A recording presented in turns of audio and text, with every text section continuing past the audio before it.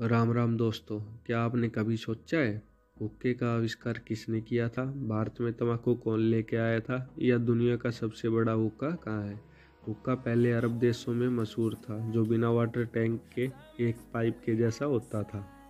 उस समय भारत पर मुगल शासक अकबर का राज था। उसके दरबार में एक व्यक्ति आया अक्षद बेग, जो बीजापुर का राजदूत था।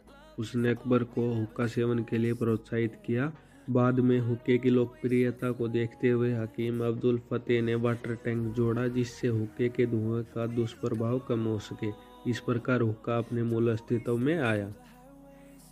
अब बात करते हैं तम्बाकू की। तम्बाकू का प्रचलन सतारहवीं सदी में बताते हैं लेकिन पुर्तगाली व्यापारी वास्को डिगामा चौदह सौ अठानवे में भारत खोज चुका था। भारतीय मसालों की मांग यूरोपीय देशों में बहुत थी। उसे बद, उसने बदले में हमें प्रिंटिंग प्रेस लगाना, नाव बनाना तम्बाकू की खेती सिखाई। इसलिए भारत में तम्बाकू लाने वाला वास्को डिगामा था।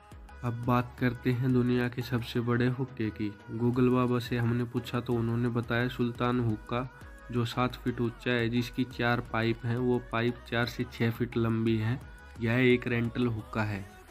इससे भी बड़ा हुक्का, जो कि 20 फुट ऊँचा है, फैंटेसिया हुक्का लॉन्च कैलिफ़ोर्निया में है। अफसोस, जो कि एक डमी हुक्का है।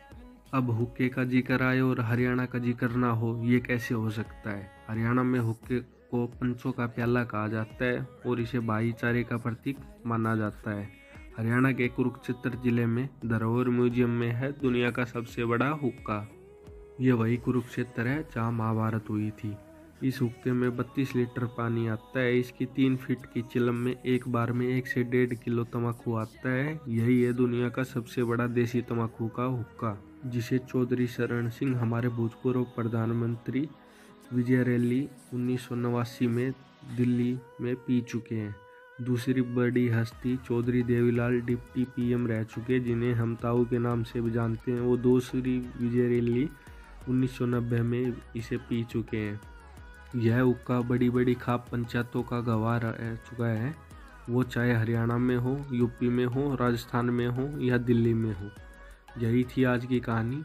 जय हिंद मिलते हैं अगली वीडियो में।